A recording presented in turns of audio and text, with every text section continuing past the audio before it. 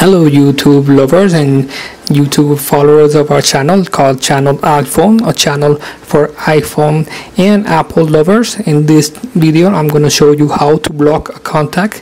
Maybe you have a contact in your phone that you don't like. You don't want that person to call you, send you message or contact you via in FaceTime it's very easy but first i'm going to invite you to subscribe to our channel can click down there. They were in the subscribe button. That way you can follow all our videos and leave us comments and questions about the about things you don't know and we will teach you. Uh, if you want to block a contact there are two forms. There are two ways to do it. In this video i'm going to show you the long way that is going from settings. In settings we look for the option that's called telephone let's look for telephone. Where is it?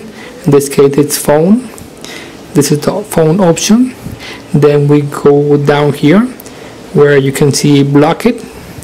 In the option block it you're gonna do click and add new. You look for the contact you want to block. In this case I'm to do a, I'm to show you how this works. I'm going to block a Samsung S3 that's the phone I have here. But first I'm going to call let's go out.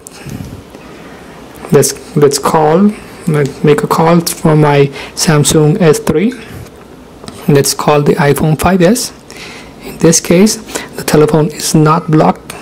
As you can see the the call entered. Let's decline the the the call. In this moment is iphone uh, my samsung 3 is not blocked. Now let's gonna block it. Let's go where i told you to go. Settings. Let's go back back back again. We must go this way. Settings. Phone. Block. And add new. And add new. We're going to select this one. As you can see I have just blocked Samsung A3 now let's go back. Let's go out of these options and now let's make uh, our, a new call. Let's see what happens. Let's call I'm gonna call again the iPhone 5s as you can see